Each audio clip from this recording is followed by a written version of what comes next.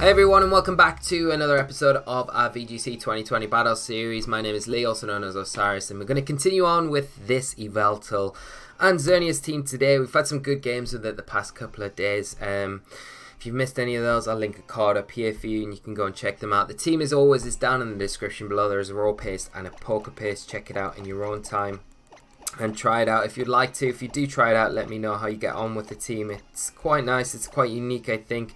Got some nice text to it as well. Um, we're going to end up the week with it. As always, if you do enjoy the content, please remember to drop a like on the video, do subscribe to the channel, and um, leave a comment down below. So hopefully it doesn't take too long to find our first opponent today. Uh, we're just going to search now. We had some, uh, like I say, we've had some good battles with this team this week. Uh, we kicked off with a really good one yesterday against a high, highly rated Spanish player um, playing that uh, Spanish Rain team uh, that we've seen so commonly used recently, but with a Ferrothorn over what you would normally see the Kartana there uh, from the original build from Alex and Eric. And um, then we had a game against Scott that double protected just ruined the game for us, really. But uh, we'll not we'll not mention that too much because it's coming across like I'm really salty about it. Gee, I'm a little bit, but it's fine. It's fine to get a little bit annoyed about things, but um, some uh, it's fine. It's fine. It's fine. I'm just hoping the Battle Spot's been like so dead. Where's everyone? Where's everyone? Is everyone just waiting on Sword and Shield and just thinking, forget it, I don't want to play Ultra anymore? But there's still lots of events to come in Ultra. You know, we've got the special event in uh, France coming up very soon, and then we've got I think that's the last major of the this season, like the ultra season for us in Europe. Uh, but lots of MSS and PCs, I'm sure, going on. We can't find our first opponent of the episode, so uh, I'll just cut here and we'll come back when we do find our first opponent of the episode. And we finally got our first opponent of the episode, so we'll hop straight into team preview. Okay, so we've got a team consisting of Duskmane, Necrozma, Groudon, Tapu Fini, Salamence, Incineroar, and Tapu Lele. So we've got that kind of Psychic Spam sort of core with the Tapu Lele. Duskmane, Necrozma is going to be Ultra Necrozma as well. We've got Tailwind support, potentially Trick Room support um, there on the Duskmane, and then you've got Tapu Fini as well for extra terrain support, um, and then the Incineroar. And the Salamence double Intimidate there. Uh, right, let's think. What can we do here? Tsareena not so good in this matchup because of the psychic terrain. Um, kind of takes away the its ability to function so well. Yveltal actually really good in this matchup, and I do like Yveltal quite a lot here. Uh, double Intimidate also very nice in this matchup. We've got to watch out for the Incineroar Fake Out turn 1, I think, um, but we can play around that a little bit ourselves. So I think what we'll do is go Incineroar Fini with Yveltal, and do we want Xerneas? I think Xerneas can be quite good, um, especially if the opposing Duskmane does Ultra Burst. Uh, the other option would be bringing in Landorus, um, because it does do well against things like uh, Groudon, Duskmane, and the Incineroar. Uh, hmm. Now I'm going to bring Xerneas because Xerneas is just ridiculously strong, isn't it? So we just want Xerneas. I've literally been searching for an opponent for like, I must have went through the process about five times. It's like, you cannot find an opponent. There's literally no one on. So uh, it's a bit of a, it must be just a bad time to search. But we'll see. We're going to see Salamence and Tapu Lele come out for my opponent. Uh, which is fine. Like this, this, this lead uh, really doesn't make like anything very like it's not a difficult lead for us because we're going to override the terrain which is perfect. We'll see the intimidate come out from the salamence but we'll get the intimidate back onto it. Um, and I think the first thing what we can try and do is probably go for U-turn out onto the Tapu Lele and go for an Icy Wind. Uh, we might see a double edge, we might see a Tailwind set from the Mence, um, but it'd be nice to just keep our Intimidate in the back um, the other option here would have been, I think, not bringing the Yveltal to this matchup and potentially bringing the Landorus here because Landorus is a good switch in here. Um, just to get the double intimidate onto the Mence and it also gives us a, a, faster pivot out the next turn as well. We're going to see the Salamence retreat, we're going to see the Groudon come in. Uh, so this is fine. Like we can, the only problem is I think going into this next turn is potentially we're going to see a Moonblast from the Lele, but we are going to have a slow U-turn out onto the Lele. So, in Incineroar, if we do see Moonblast, we'll, we'll take that before Yveltal comes onto the field. So, it's not the worst thing in the world. Magic Room. Ah, okay. That's fine. We do lose our Assault Vest though with, uh, with Yveltal, which isn't the best. Um, but not uh, the end of the world. And we will be faster than Lele as well, so we will be able to get Snarl off before we can do anything. Um, okay. We lose like all our berries as well. Come on, let's go. Let's go, let's go, let's go. Right. Sorry, my screen just freezing there. You know what? It's like loading and just lagging a bit. Right, so Yveltal onto the field. Um, do we just snarl? I think snarl's not bad, to be honest. Uh, you don't know what kind of Groudon this could be. It could be special. It's more likely to be physical, though. Um, so we could just snarl, and we could potentially just go for Nature's Madness into the Groudon, get some damage off onto it there. Um, it might go for a Fire Punch. Um, but it might not as well. It might go for an Eruption do not know. Anyway, we get that off, and uh, if it goes for Precipice Blades, I mean, like, Yveltal's fine. We get some Nature's Madness damage off onto the Groudon. Uh, the, the opposing Fini's definitely going to be... Uh, yeah, there's a Fire Punch, okay. Uh. Yep, that's fine. Um, the opposing Fini, I think, definitely is the move. I think for using, utilizing um, Magic Room, it would make sense. I'm going to go for a Nature's Madness into the Fini. I'm going to switch in Incineroar onto our Yveltal. Maybe my opponent sees this, but uh, I think keeping Yveltal around for later on be quite nice. Um, especially if the Duskmane's lying in wait in the back. We know there's the Fini, the Groudon, the Salamence so far, so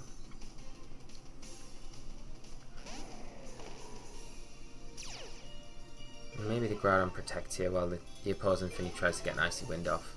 That'll make a lot of sense. Yeah, and there's a Protect. And there's the Icy Wind. Yep.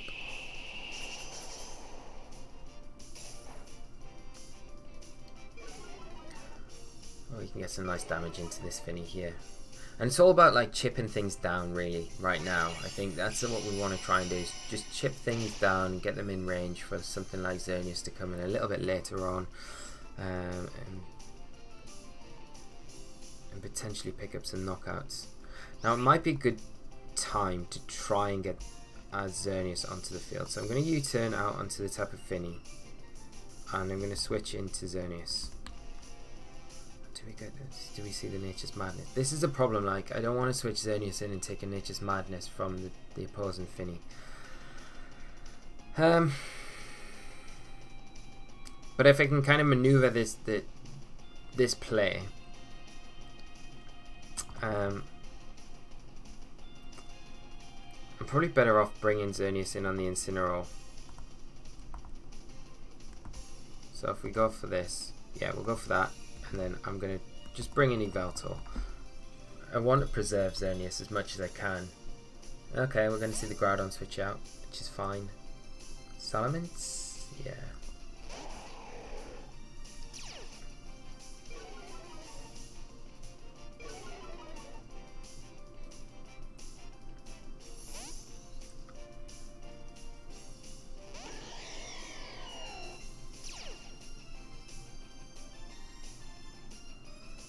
Madness into the Yveltal.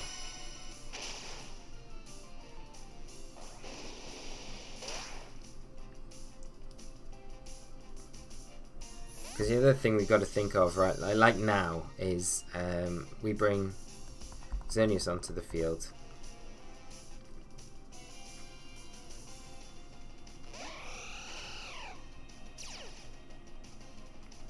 Moonblast probably gets thingy.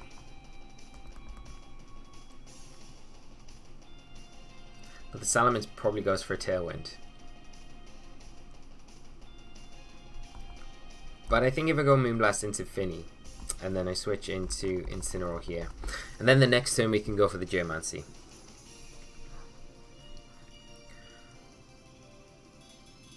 Because you've got to worry about the Tapu Lele coming in. Like That's what we're trying to do, is like bait in the Tapu Lele when uh, we've got that, that board position Incineroar Xerneas. Um, and we want to try and lock in our Misty Terrain so we can get this board position where we can get the Xerneas set up with the Geomancy and then from here it'll be pretty easy to kind of um, manipulate the field. We're going to see the Tapu Lele come back onto the field now.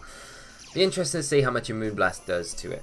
Can we take... I don't think we'll take it down from this range, but you never know. Uh, Salamence going to Mega Evolve.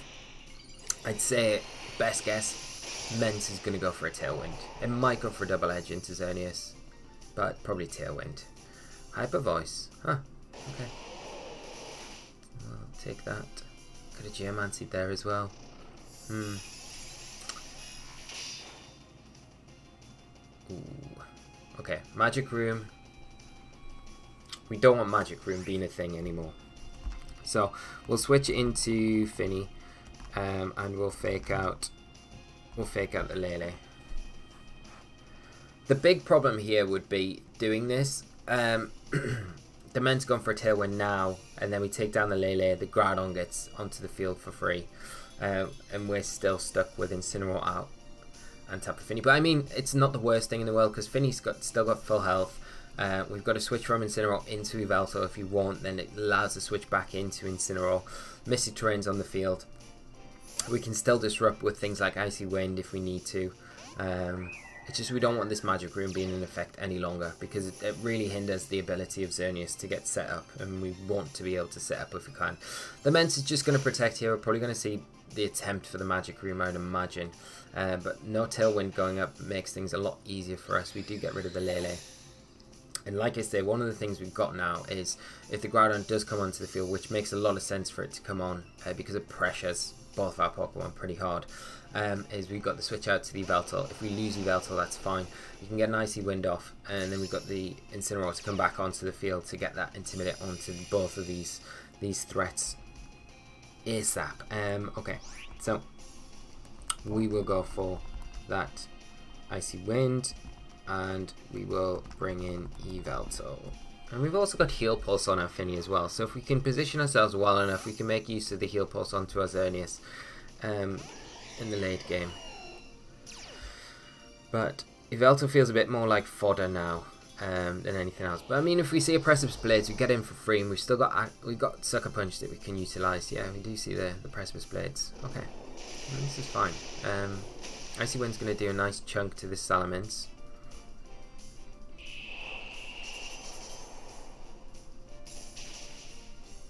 Yeah, maybe a Sucker Punch gets the Groudon. I don't know if it will, to be honest. Or are we better? Are we better off just switching into Incineroar? Um, no. I'm going to go for another Icy Wind. And I'm going to go for the Sucker Punch. I think the Sucker Punch, like, Sucker Punch is pretty strong. Like, it might get the Groudon. Nah, it's not quite enough. Hyper Voice, do we take it with Yveltal? Oh, we do, we take it, and the berry should proc. Now we're going to get the Icy Wind off, and now we're going to be all alright, unless we see a Fire Punch come up from the Groudon into Yveltal. There's Precipice Blades, it's fine. And it's so imperative to stop that Magic Room, because it, it like our berries wouldn't be procking otherwise. Icy Wind, we're going to cancel out this um, Tailwind, and then the Mence is definitely in um, Sucker Punch range now. Right, so we need to play this a little bit carefully. I mean, once we get rid of both of these targets, makes things makes our life a lot easier. Sucker Punch we need to go for on the Mence. I think, yeah, we'll go for the Sucker Punch on the Mence and just the Icy Wind. I don't mind losing both these Pokemon now because, it, like, if we lose both now, it means we get Xerneas and Incineroar onto the field and we've got that, that fake out Geomancy. So let's see what we can do. Are you going to let us fake out the Mence? The problem would be the Mence protecting, yeah, the Groudon going for the attack. But I mean, once we get rid of the Groudon, Because an Icy Wind will get rid of the Groudon.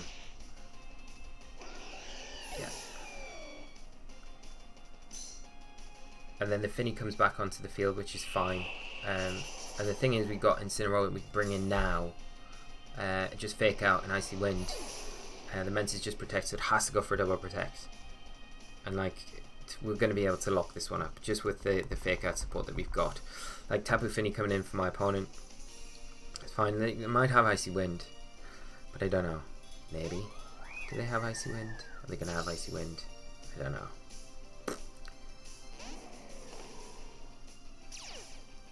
The other option we've got here is just to um, actually U-turn with Incineroar onto... Yeah, I think...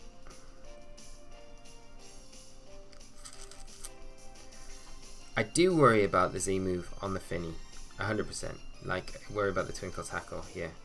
Um,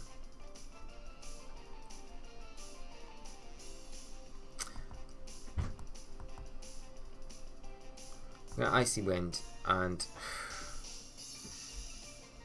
or do we just fake out the Mence and just Icy Wind? Because then you have to target down the Fini.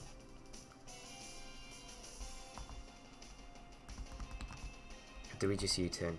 I think we'd make use of our fake out while we've got it. The fake out might be enough. I don't know if it will be enough to get the Mence, but as for the double, okay.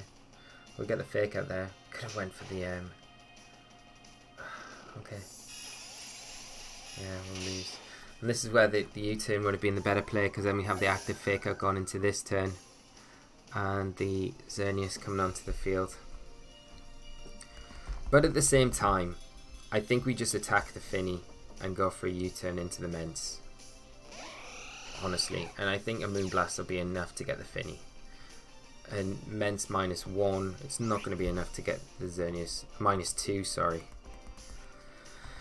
Um, yeah, we'll go for that Moonblast. And we'll go for a U-turn. Into the Mence. And I think, like, we might see a Z move, but we'll get the Mence with Incineroar. It's just about getting the Moonblast onto this Fini. I don't think it's Berry either because of the, the Magic Room. Oh, it survives! But the special attack drop is huge. It is Berry, actually. Wow, okay. That's interesting. So there's no Z move there. We I, I really expected the Z move. I'm going to see Moonblast. Uh, special attack drop is pretty huge here for us. Uh, double edge. Do we take it? Oh, we do. Oh, and the Mence goes down. Oh, the double intimidate. Oh, we got onto it. It's huge. And then the U-turn coming out into the Fini. And then, yeah, I mean, we've got this now, haven't we? Because um, we can just Moonblast Moonblast and then go for the uh, the U-turn again. Oh, we could just Flare Blitz, I guess. Flare Blitz just got with a bit of flair, a bit of style.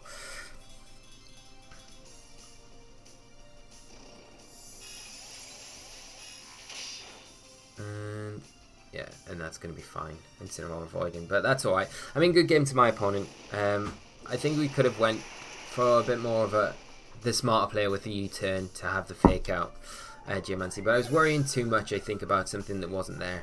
Um, and that was the Z move on the Fini.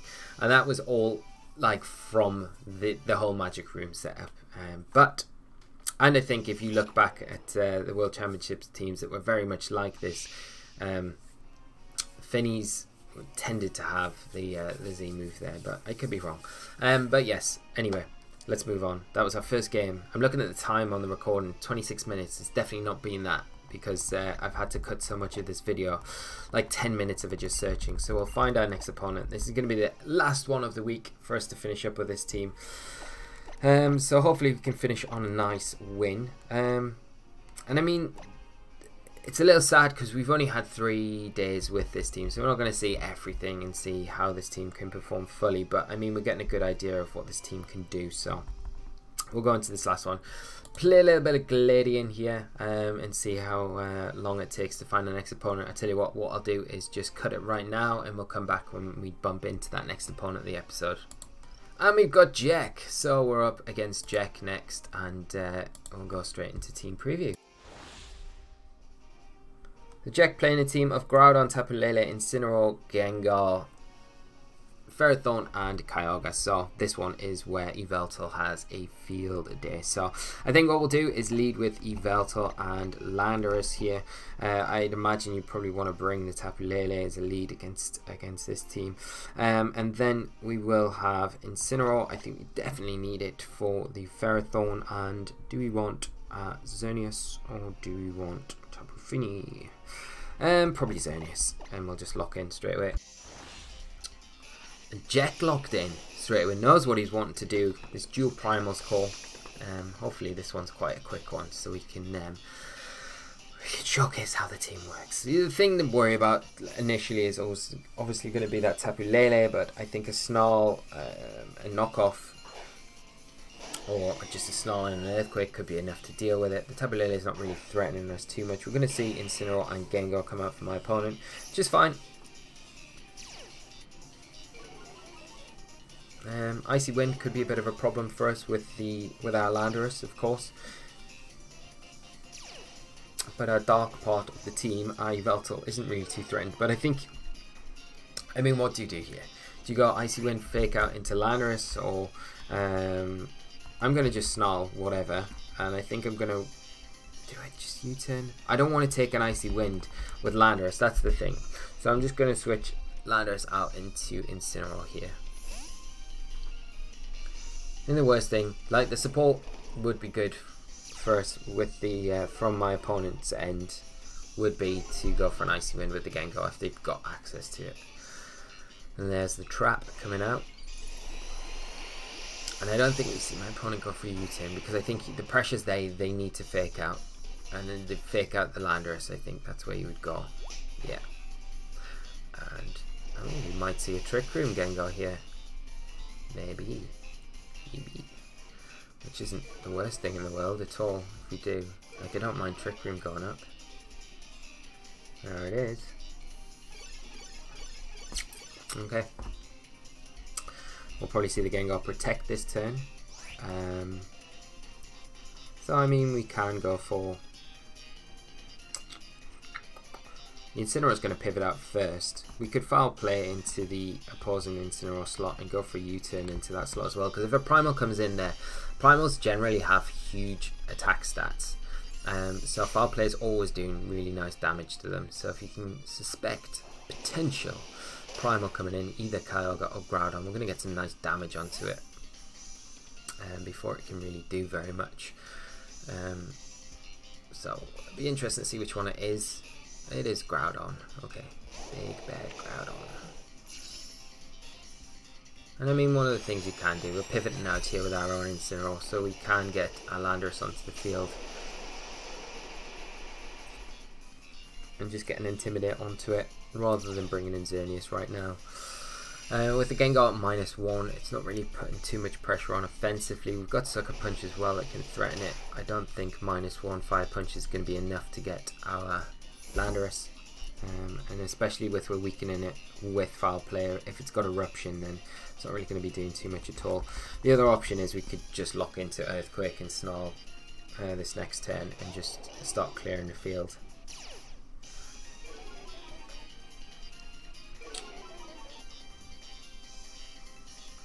There's a foul play. Intimidate not helping us at all there, but I mean, I'd rather get the Intimidate onto Groudon now, um, and then we've got the Snarl, and then we can just go Earthquake. And we'll see what my opponent can do to get around this. Because, like, if the Groudon doesn't protect here, then it is going down 100%. Yveltal takes a Gengar down if it stays in, which is not going to. We're going to see Incineroar probably come back onto the field, yeah. But Incineroar takes an Earthquake, even minus one, it's still going to be doing decent chunk damage, putting it in range for the next turn at least. Uh, and Thunder Punch. Ha! um, alright. I, I, I still think like Fire Punch would have been a better option there. It's boosted by the sun, doing a lot more damage. Uh, we're going to be able to get rid of the Groudon now.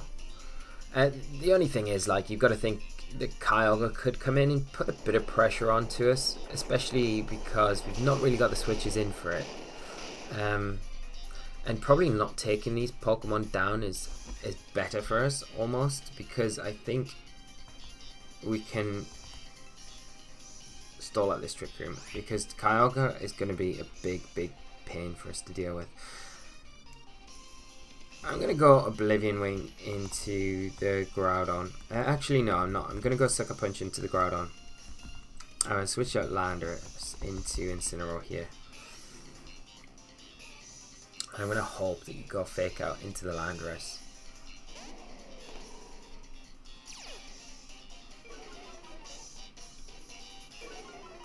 But let's see what my opponent does. Fake out into Landorus, yeah, and then Sucker Punch this tick down there. Groudon. and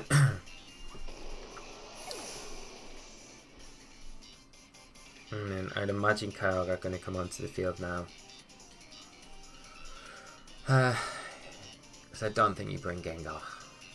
Unless you want to trap us, potentially, and then pivot out with your Incineroar. But we're going to try and prevent that this turn by just going for a snarl and a fake out into the opposing Incineroar. We want to stop that that U-turn into the Kyogre. We don't want my opponent getting any momentum here.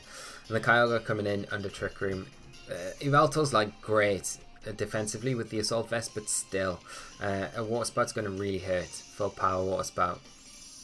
Uh, we'll probably proc a berry on this Incineroar, no doubt with this fake out, but it's worth it we don't really need to worry about the Incineroar until later on. Um, it could be a Z move as well. That's the other option. but we uh, aren't seeing a berry, which is fine. And the Gengar protecting here. So, um, I think we just go for a Snarl again in case the Kyogre does come onto the field. And we'll just go for a a U-turn into the opposing Incineroar. And then we see the forfeit. So, good game, Jack. But we able to manage that quite well. I mean, Yveltal against Dual Primals and Mega Gengar. It's a really tough matchup for my opponent. But uh, that wraps it up first, my friends. Thank you so much for tuning in. I hope you've enjoyed today's episode. Two really good games today, showing uh, the team how strong it can be in certain situations. So hope you've enjoyed it. Leave your comments down below. I'll see you on Monday for another episode and uh, with a brand new team. So we'll be kicking into it and exploring some more variants. As always, if you do want to see a certain core played, leave your comments down below and we'll make sure to see what we can do. But have a great weekend and I'll see you all on Monday. So until then, take care and bye-bye.